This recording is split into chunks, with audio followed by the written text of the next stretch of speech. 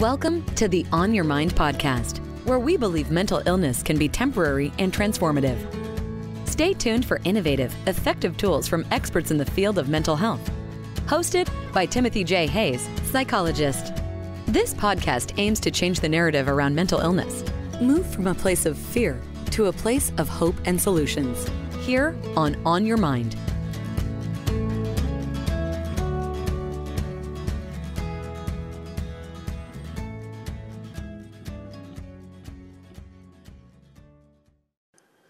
Dr. James Kowal, PhD, is a board certified neurotherapist, a member and presenter at the International Society of Neurofeedback and Research, board certified expert of traumatic stress, approved consultant in clinical hypnosis, approved consultant in EMDR, a certified sex therapist, certified thought field diagnostic therapist, and an approved trainer for the Callahan techniques.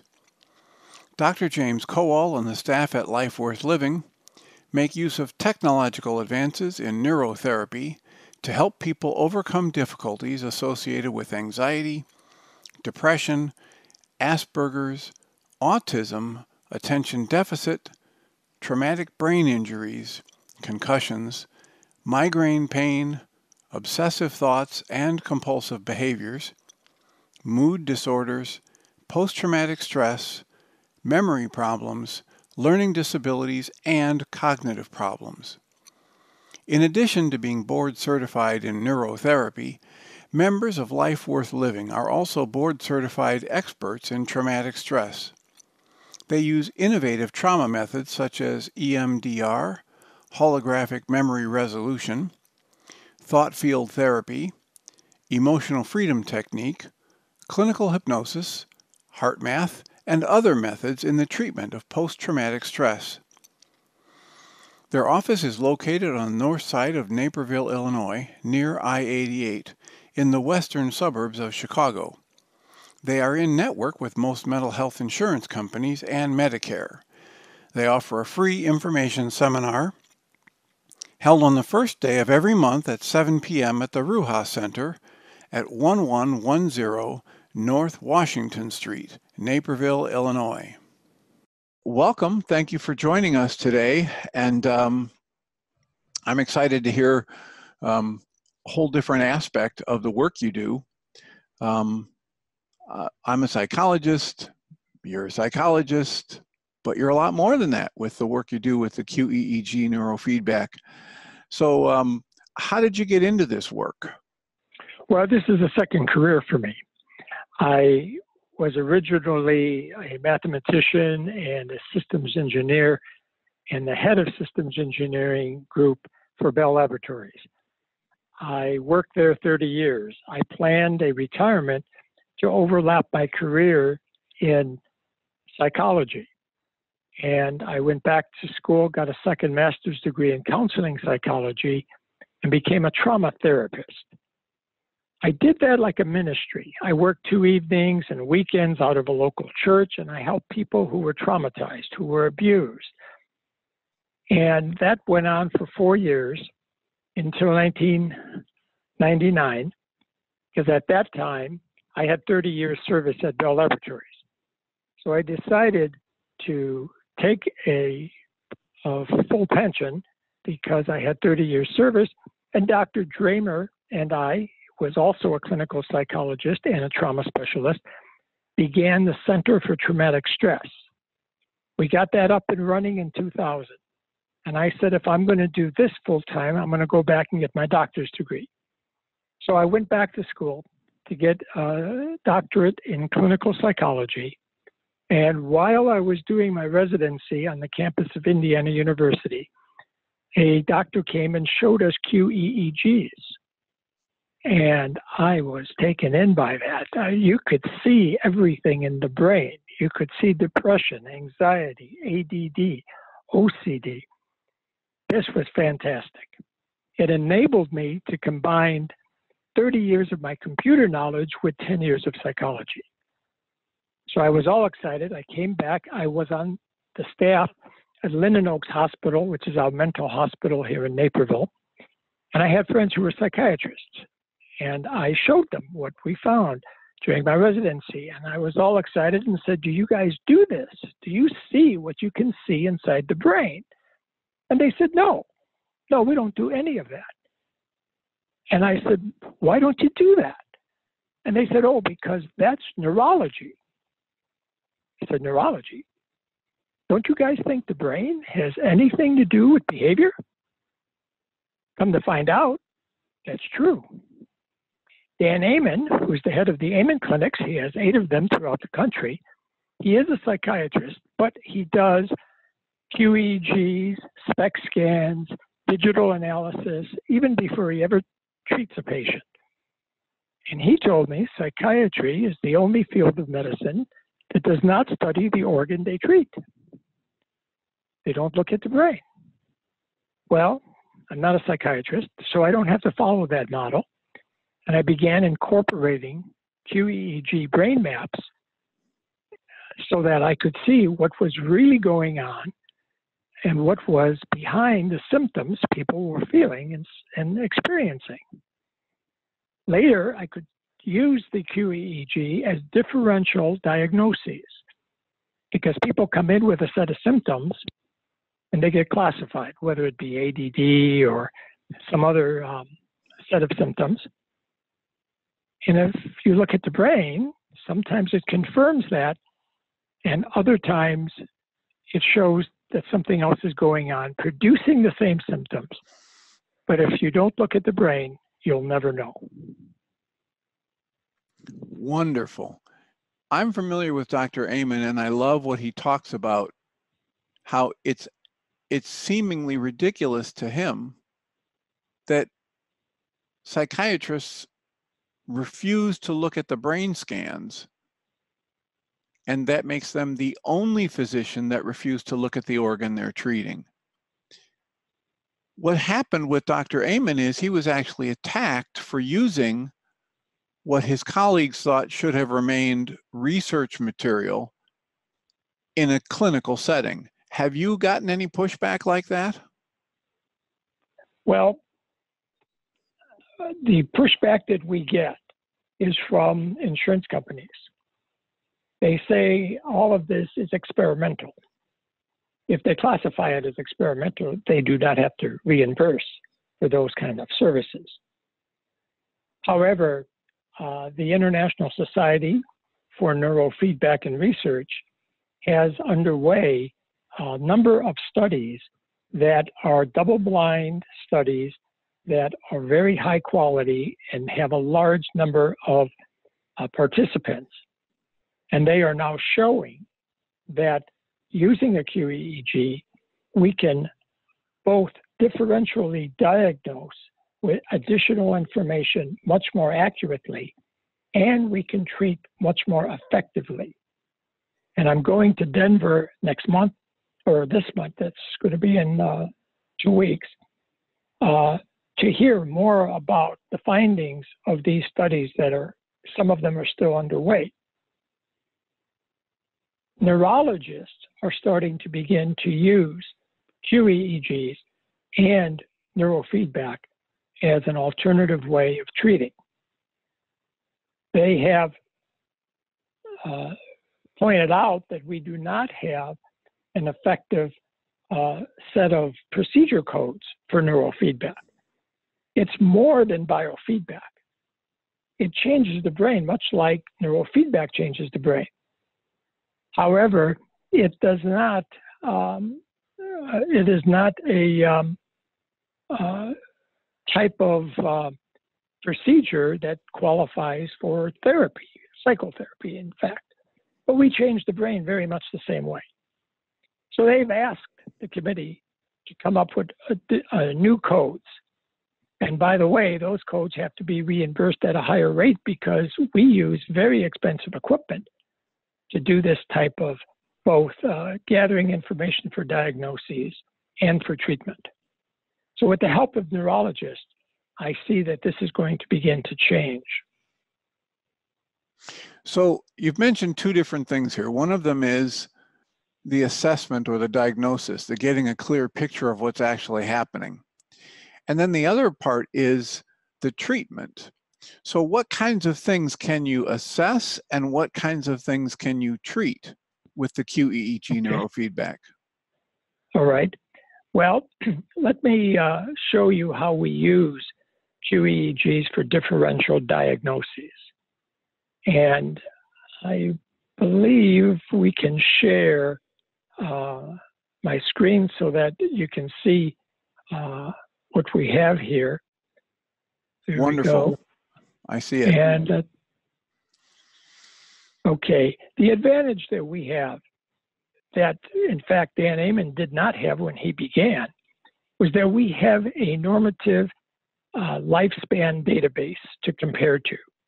When we collect data on a, on a patient, we can compare that data by gender, age, and handedness and see how they fall in a normal distribution so that certain frequencies at certain locations can be over or under active. We have since then correlated those findings with symptoms that people have uh, experienced. If we were to compare, we, as you see there, there are 19 locations that we can record data from.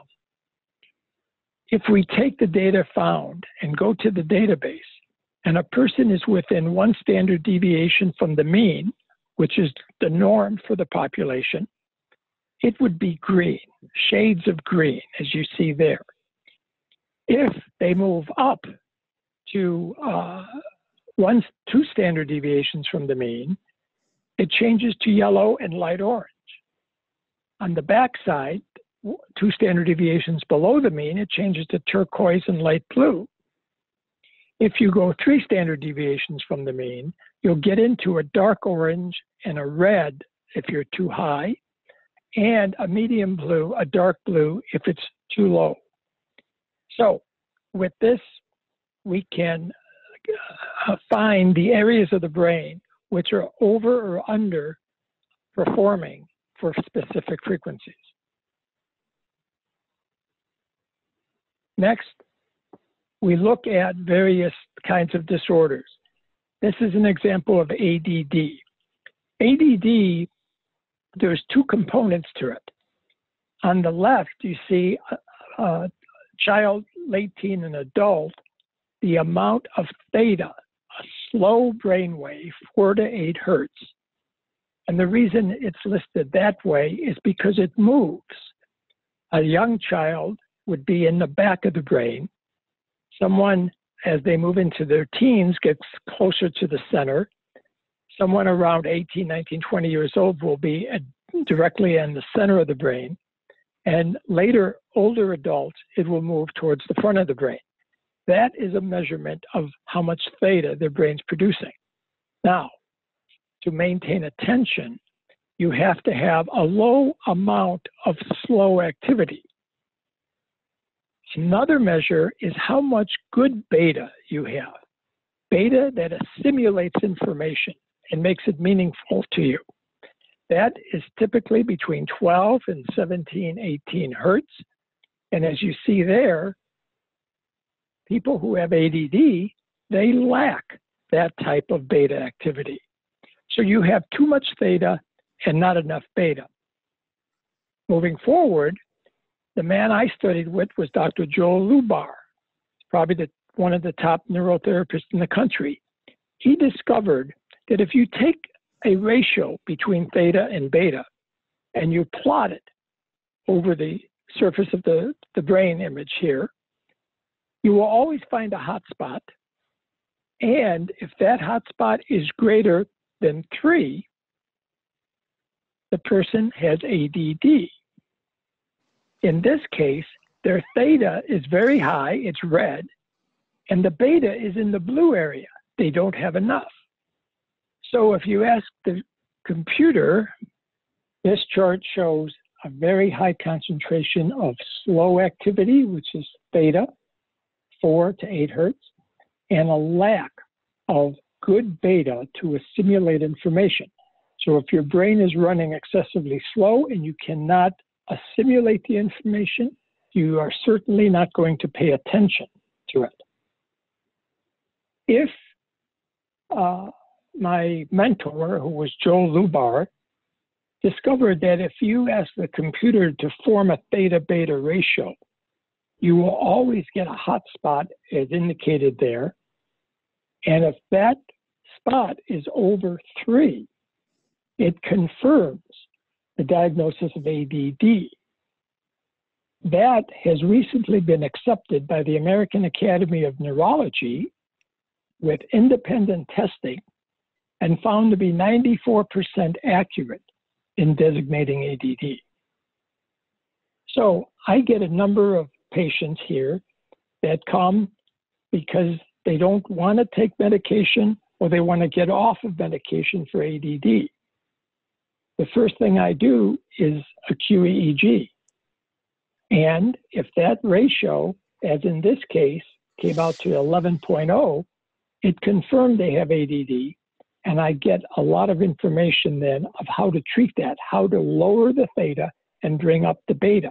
And that's what we do with neurofeedback. However, in another case, this boy came in and was to, uh, told me that they diagnosed him as having ADD. I did a QEEG and found his theta beta ratio was 1.13. This does not confirm ADD. So, why isn't he paying attention? If you look at the chart on the right, you see alpha, which is a slow brain wave. It's very high in the front part of the brain, particularly in the left frontal area, which is where we think it's executive functioning area, and it's running very slow. This is the characteristics of a learning disability.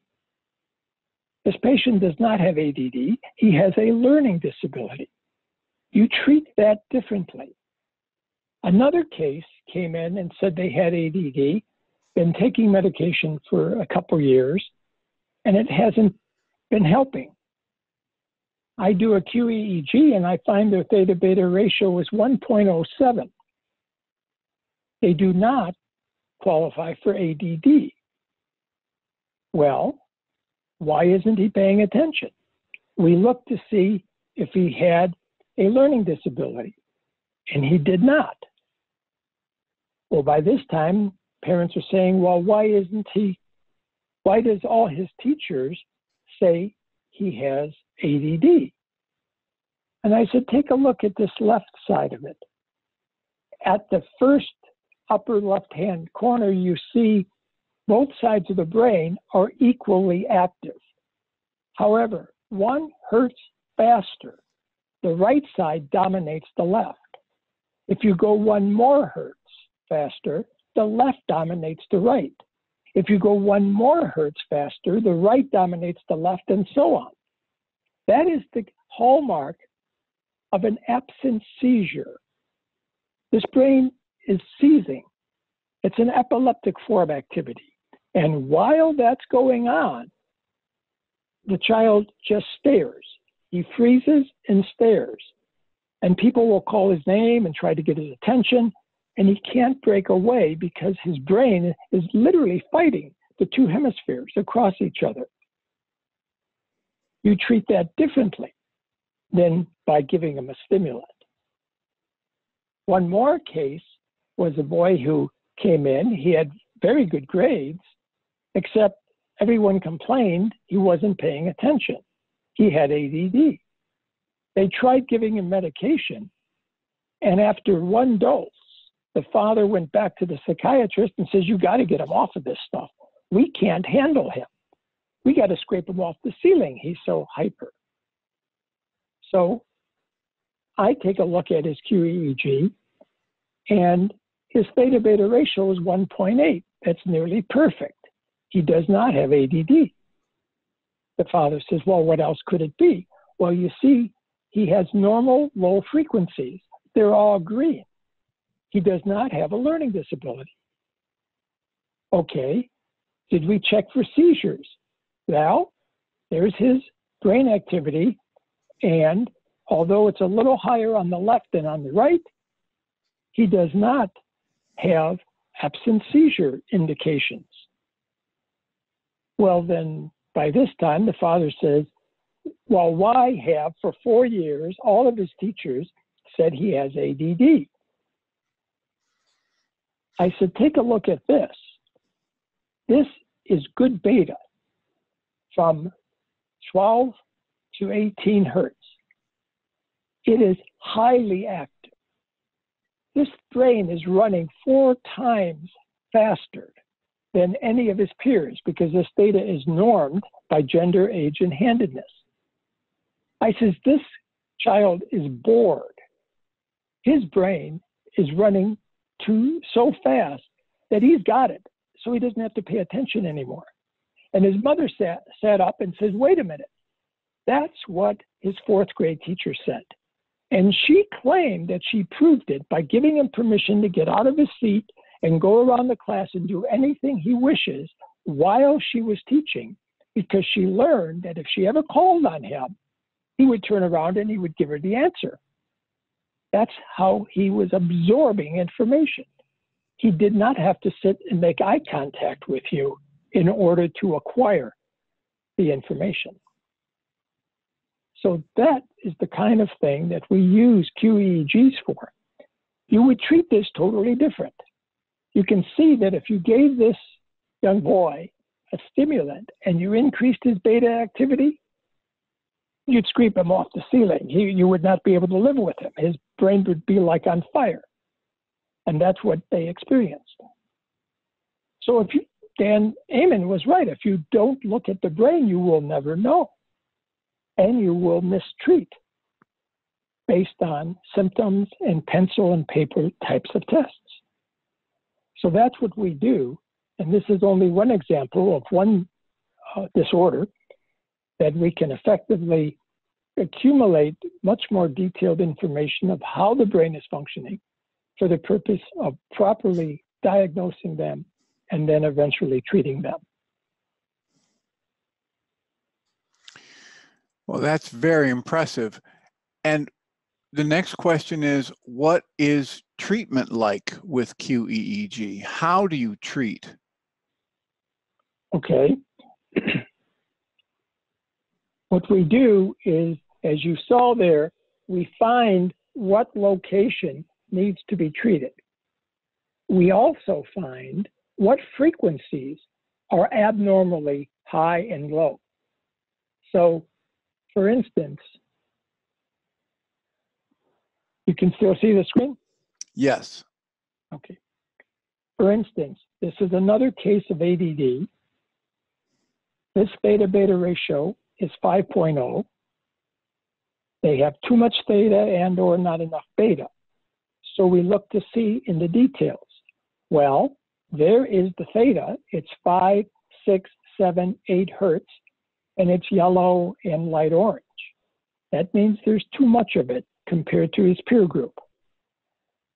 We need to train that down. For beta, it's blue. He doesn't have enough of it. So we need to train, in this case, 15 to 19 hertz up. Now, if you did this by textbook, the textbook would say theta is four to eight hertz, you need to train it down. And it would be approximately correct. But then it would say you got to train beta 12 to 18 hertz up. Well, he doesn't have a problem with 12, 13, 14 hertz. His problem starts at 15 and goes to 19. So we get the accurate frequencies that we need to train. The next thing is we know where to treat because that's where the theta beta ratio was the highest. So we place an electrode on the brain at that location and we plug him into a computer. Then we program the computer to look for 5 to 8 hertz and to look for 15 to 19 hertz and to separate that data out and present that to the patient in real time how much his brain is producing low frequencies and high frequencies. The goal here is to lower the low frequencies and to raise the good frequencies. Then they play games. Now, this is a video game, it's an action game. This uh, cartoon will begin to juggle the balls when the theta gets lowered below a threshold. So the very first uh, bar graph, there is a goal, and if the brain activity is operating below the goal, it turns green, and the figure begins to juggle the balls. Now we want them to do something else.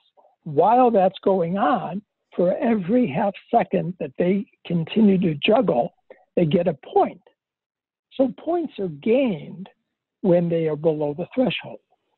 Now we need to do a second thing. We need to increase the beta. By increasing the beta, we set another goal for the 15 to 19 hertz range. And if it's below the threshold, as it's indicated there, it's red, it turns red. As soon as the brain increases and goes above the threshold, the bar will turn green and the music will play. They will have headphones on and they would hear the, music.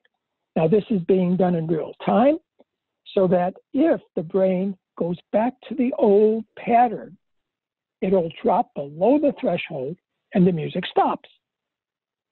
So the music goes on and off and on and off and on and off. Well, that's annoying. Annoying is good because the brain does not like annoying. And it figures out how do I keep this music playing? then it realizes that if it increases good beta, oh, the music continues to play. The screen reports the percent of a time that the music is playing versus silent. So we use those figures to make sure that the person is being rewarded about three quarters of the time. If they fall below 60%, it's not enough reward for the brain to learn what it can do to achieve its goal. If it gets up to 85, 90%, it's so easy to achieve the goal, the brain doesn't have to change very much. We want the brain to change because the normal pattern is running too much theta and not enough beta. We continue to do this repeatedly twice a week for 30 minutes and the brain learns a new pattern. Now, brains are pattern engines, they run patterns. While it's running that pattern, it's not taking in information. If we go in and we alter its pattern, we reward it to learn a new pattern, it will learn that.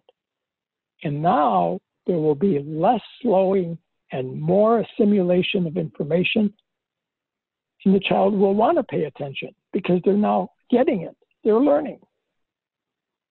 So that's the process. It's playing video games, which I have very few kids not willing to do. And adults, we can entice the same way by making it a challenge. You did 1,500 points uh, last time. Well, let's see if you can make 1600 this time. And they keep pushing their brain to alter its pattern. Once you learn a pattern, the brain will continue to run that pattern. So, in one of the interviews that I heard you do with a Dr. Corey, one of the things you talked about was some of the research about how how this the effects last. And there was some research comparing uh, the benefits of um, medications for these same kinds of issues compared to the benefits, side effects, and long and, and lasting benefits from the QEEG neurofeedback. What can you tell us about that? Okay, Medica- the, the brain is a electrical chemical engine. Psychiatry prefers to treat it as a chemical engine. What we are doing here is we're treating it as if it's an electrical engine. The fact remains it is a electrical chemical engine. Now, the brain is a pattern engine, as I've said, and it learns patterns. It will continue to run those patterns until it learns a different pattern. Psychiatry goes in and it alters the chemical, the neurochemicals in the brain. That affects the way the brain operates. When that happens, the brain will offset some deficiencies and the symptoms will remediate.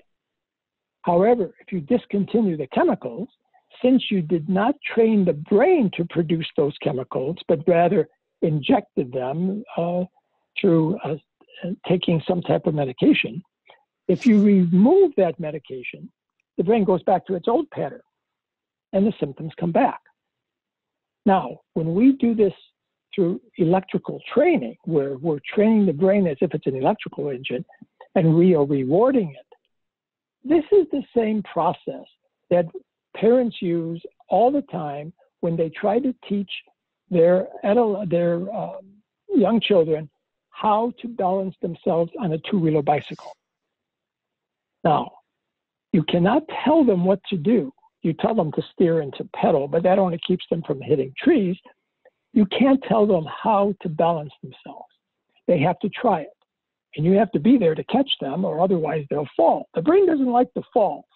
So it's very highly uh, motivated to stay on those two skinny wheels. And they have to practice over and over again because they will wobble and, and almost fall, and someone will catch them and put them back on the uh, centering over the wheels, and they will go a little further and they'll try to fall again, and you'll catch them. And they keep practicing. And the brain is learning how to keep its center of gravity directly over those two skinny wheels. Once the brain learns that, it has learned a new pattern. Now, I tell parents can you ride a bicycle? Most of them can. I said, How long has it been since you rode a bicycle? I get various answers. Last week, two months ago, two years ago, sometimes five years ago. I said, If you get on a bike this afternoon, do you think you would remember how to balance yourself?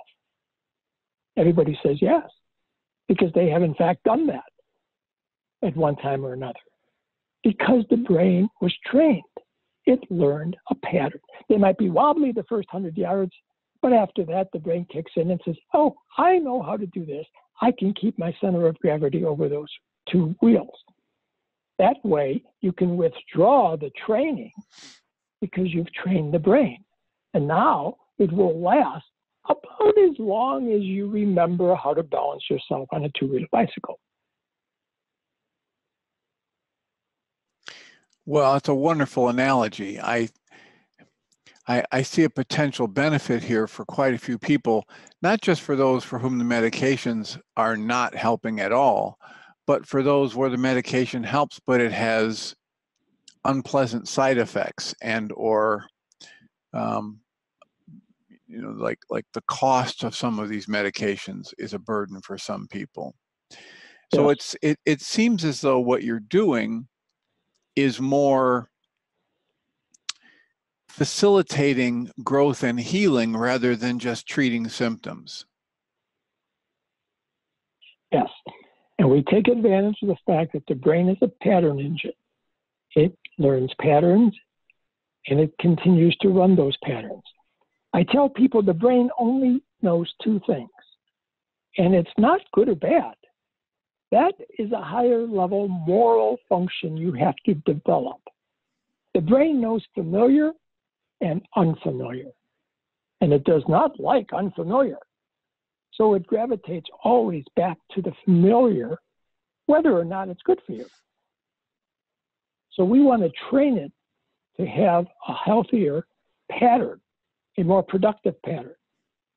And with that, the brain will continue to run that pattern and people will have less need of medication, not have the side effects of that, and be able to perform.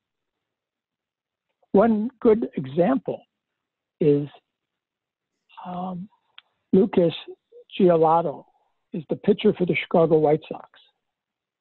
Last year, he was the worst pitcher in the major leagues. He says his problem was lack of focus, couldn't concentrate, couldn't hold the focus long enough. So he began doing neurofeedback. And he did neurofeedback all through the off season. This year, it's a totally different story. He can maintain his focus, and he became the leading pitcher in the American League and was the starting pitcher for the All Star game. In one year, his performance completely changed because he trained his brain. And now he can maintain the focus that he needs to do the job that he's enjoys doing. So the question comes to my mind what's the range of things that can be helped with the QEEG neurofeedback? Well, it's most psychiatric uh, conditions. We can treat depression, we can treat anxiety, we can treat obsession, compulsion, which is another example. Uh, psychiatry calls it obsessive compulsive disorder. If they were to look at the brain, they would know that it's two different disorders. If you have high beta activity in the left frontal region, you will have obsessive thoughts, racing thoughts, ruminating thoughts, can't turn your mind off.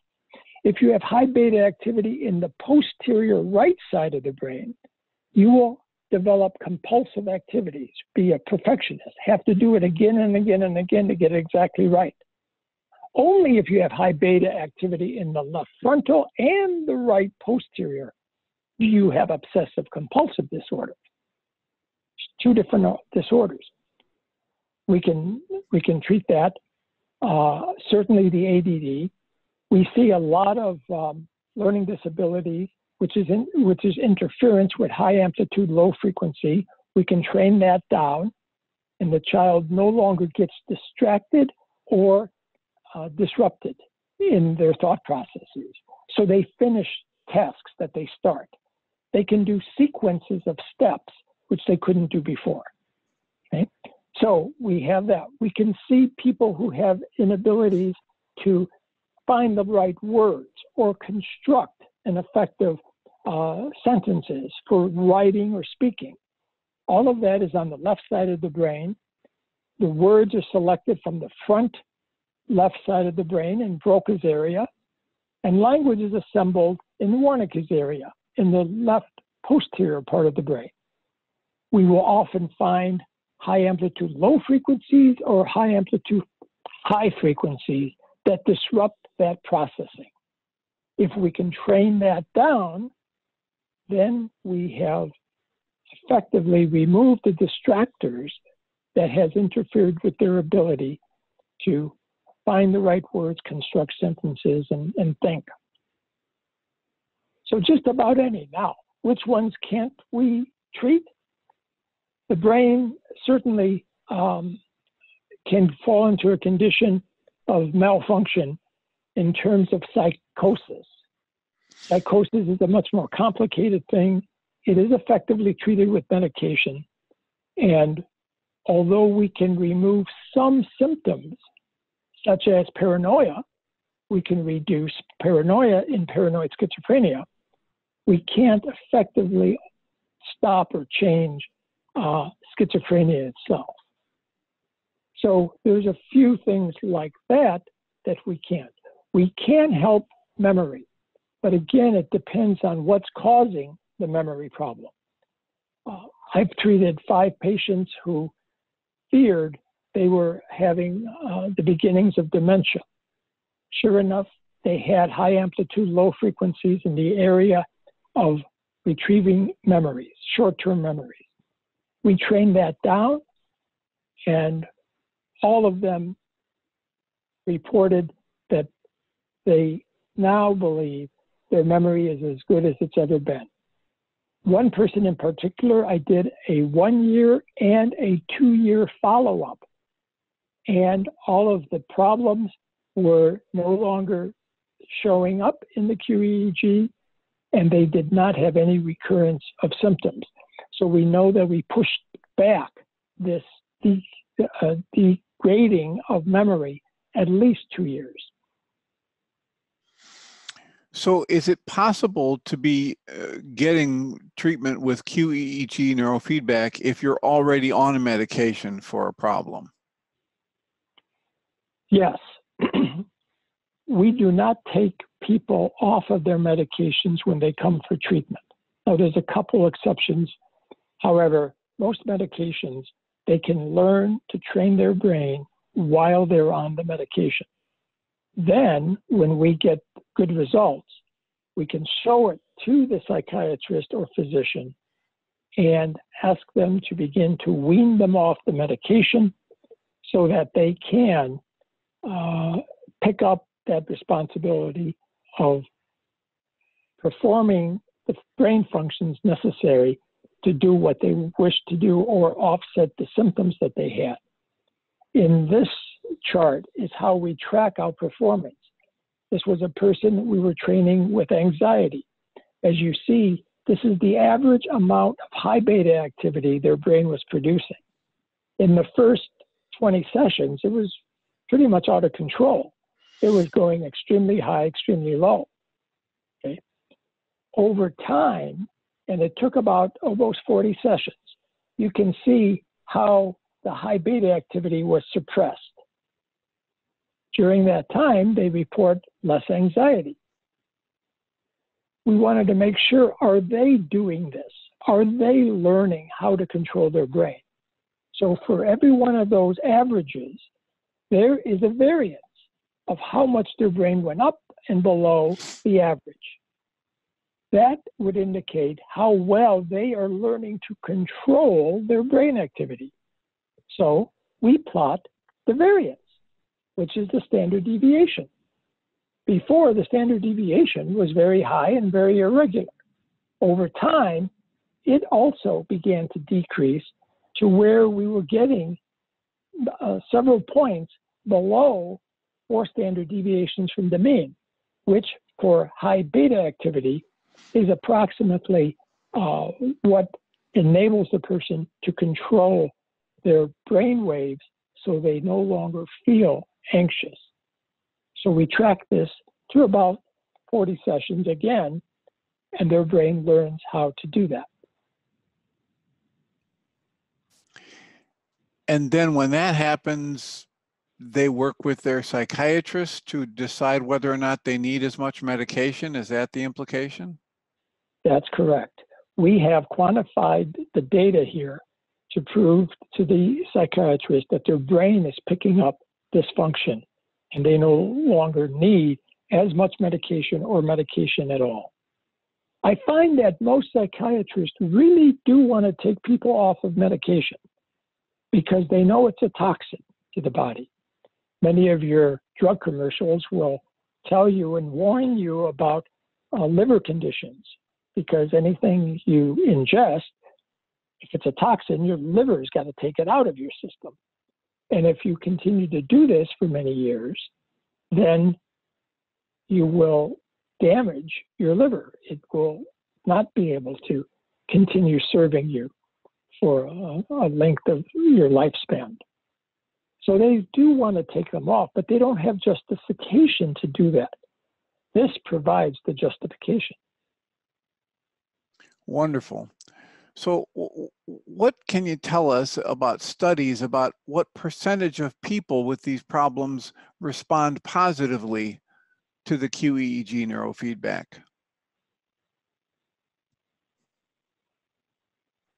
All right, that's a good question. Uh, this is a summary of the kind of successes that have been documented by professional societies like the International Society of Neurofeedback and Research. The first one was Margaret Ayers. Margaret Ayers was a pioneer in this field. She was a neurologist. She said she did neurofeedback with her patients and found better than 90% complete or nearly complete relief of symptoms. Next is Joe Lubar, the man that I studied with. He was the one who found the theta beta ratio for ADD. He said he gets better than 90%, have gained substantially by doing the neurofeedback training. Mike and Linda Thompson. Uh, Mike Thompson is a neurologist. Linda Thompson is a clinical psychologist. They have a general practice in Canada. They find between 80 to 90% success rate in relieving the symptoms of the patients that come to visit their office. Dr. Rotman, I do not know. Uh, he treats uh, people with fetal alcohol syndrome and autism. For three years, myself and a colleague were uh, treating fetal alcohol syndrome and doing research and presented at three different conferences on our results with some very impressive uh, successes. I have a number of autistic children that come because autism is again characteristic by high amplitude, low frequencies, which is a distracting brainwave. They start doing something and they get distracted and they do something else and they don't stay focused. Those tend to be my longer term patients, but the parents keep bringing them because they see incremental improvements. One mother says, Oh, yes, we can. He now sits at the dinner table for the entire meal when we eat continued bringing them and reported, oh, now when the family watches a movie, he watches the entire movie with us. So they see these incremental improvements and they continue wanting to build on that. Uh, Siegfried Othmer, again, he's a, a Canadian uh, neurotherapist. He's formerly a um, physicist. Uh, he also went through a a uh, metamorphosis of uh, careers and got out of um, physics and into neurofeedback. He reports out of a thousand cases, 20% are miracle stories. Unbelievable. 45% improve substantially and relief of all the symptoms, and 25% are satisfied that they have achieved the goals that they came in for.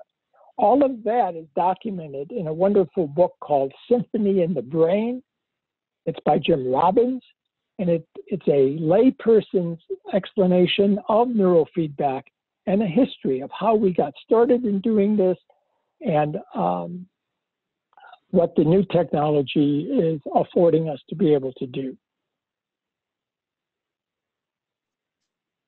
Wonderful. Thank you for that overview.